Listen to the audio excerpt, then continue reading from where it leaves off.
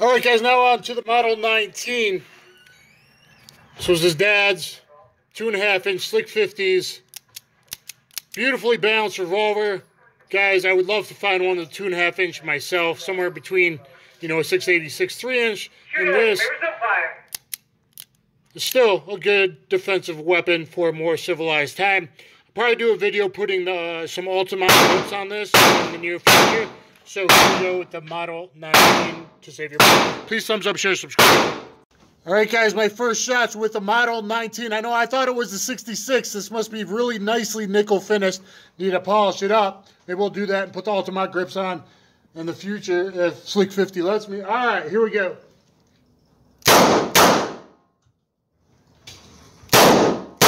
Whoa, the third one was a doozy. Maybe it got a little wet, a little overpressure. Yeah, heart shot. There we go. So, can something like this still serve you in most situations? I say yeah, and uh, actually, oh, I dropped one in the stomach, guys. So those are double taps.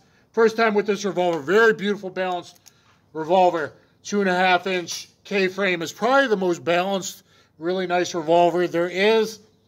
And, you know, in the uh, A-zone up in the cavity, one just a little, looks like see this custom Glock. So guys, here we go. Those are double taps in my first time with the revolver. Here we got two in the heart, one here, and, and three more in the, the, lungs, one touch in the spine, and I did drop one though, but double taps, so the second one was probably low, low. But that third one, I wonder if it was flames. I don't know. That third one was extra, extra spicy somehow. Slick 50's ready with the Model 19. A good one.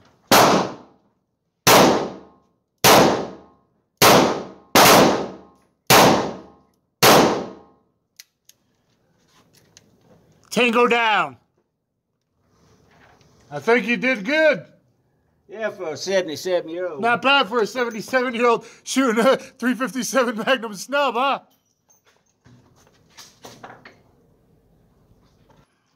So 77 years old, guys. Slick 50's doing pretty good. Three hits right in the spine, severing his head off. Two in the lung.